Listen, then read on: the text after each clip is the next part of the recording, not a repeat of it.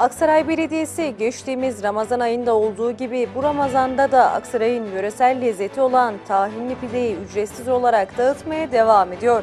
2021 yılı içerisinde tahinli pideyi yöresel lezzetler listesinde tescil ettiren Belediye Başkanımız Evren Dinçer, tüm mahallelerde ve talep edilmesi durumunda il dışında yaşayan vatandaşlara Ramazan ayı boyunca 50 bin tahinli pidenin dağıtılması talimatını verdi. Aksaray Belediyesi'nin şehrin yöresel zenginliklerini ön plana çıkartmak için başlattığı tahinli pide dağıtım çalışmalarına ilişkin açıklamalarda bulunan Belediye Başkanımız Evren Dinçer, Aksaray'ın yöresel lezzeti olan tahinli pideyi herkesin tatmasını istediklerini ifade etti.